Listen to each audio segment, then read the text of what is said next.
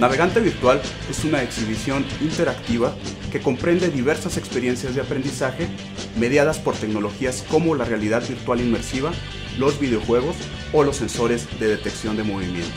La exhibición comprende cinco componentes, todos muy diferentes entre ellos. El primero es una visita, una visita virtual a un museo de arte contemporáneo.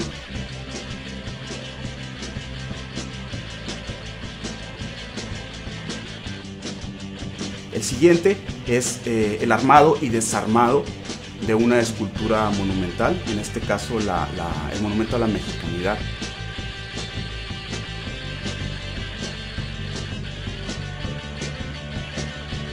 Eh, otro de ellos es la visita virtual, desde luego, a una misión en la Estación Espacial Internacional. Bueno, gracias a la realidad virtual, eh, prácticamente cualquier persona puede vivir, esta experiencia de una manera muy similar y no solamente vivir, sino recibir en el proceso un aprendizaje que es muy valioso y que es muy importante porque deriva de una experiencia virtual, si se quiere, pero finalmente una experiencia.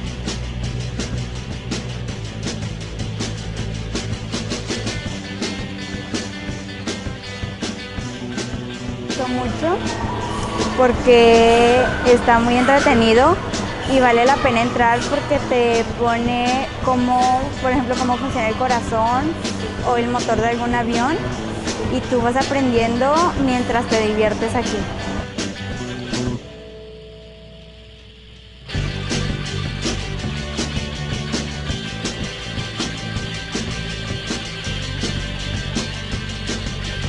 Y es precisamente la principal razón, tal vez, por la que nadie se lo debe perder.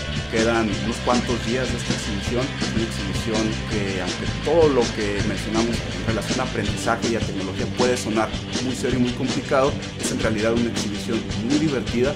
Los eh, niños y los chicos van a pasar un rato muy muy agradable y bueno, además de navegante virtual, pues como ya saben, disponen de una serie de experiencias y espacios adicionales maravillosos en este lugar que es la rodadora.